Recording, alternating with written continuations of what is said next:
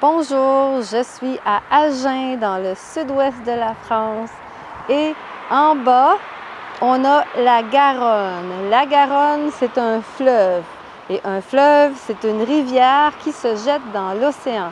Donc la Garonne se jette dans l'océan Atlantique. Donc ça, c'est beau, c'est un gros fleuve, c'est cool. Mais maintenant, on est sur un pont. Le pont passe par-dessus le fleuve, par-dessus la Garonne. Mais le pont, ici, c'est aussi un canal. C'est un pont-canal. Donc, il y a de l'eau qui passe par-dessus l'eau.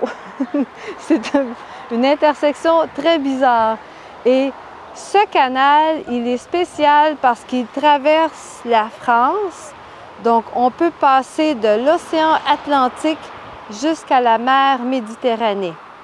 Et cette partie ici, c'est unique parce que c'est le pont-canal, c'est vraiment extraordinaire.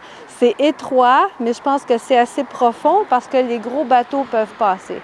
Et je pense que c'est très vieux, vous avez vu l'architecture.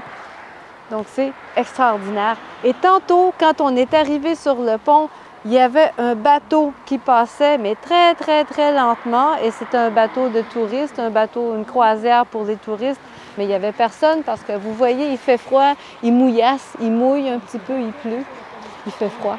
Donc, euh, c'est tout. Salut!